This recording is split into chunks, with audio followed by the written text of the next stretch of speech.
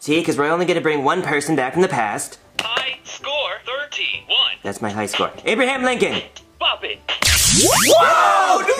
Abraham Lincoln's in my house! He's actually here. It's really Abraham Lincoln! See, I told you I could do it! Joseph, what question should we ask him? Oh, I don't know, dude. Maybe something about his hat. Yes, Mr. hat. Uh, Lincoln, can I have your autograph? Well, I want your autograph! Mr. I want, Lincoln. you- I want his autograph. Mr. Lincoln. Mr. Lincoln. Mr. Lincoln? Mr. Lincoln. Is he okay? Is he, is he deaf? Maybe not he's, talking. maybe he's sleeping. No, his, his eyes are open. I know you can see us, dude. M- Wake him Mr. Lincoln. Something. M- M- Mr. Mr. Lincoln? Lincoln? Come on, Mr. Lincoln, Lincoln, Lincoln. talk. Oh oh oh, oh! oh! oh! What the hell? Oh, oh my god!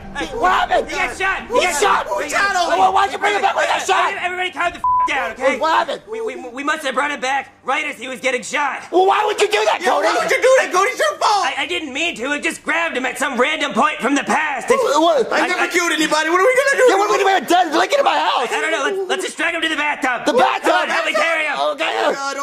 Uh, what do we do now? I, I, don't, I don't know. Just, just, let, let, let's just let's just leave him there for a little while, okay? Oh, but what about his body? Just leave it. I, I, I don't know. Let, let's just go.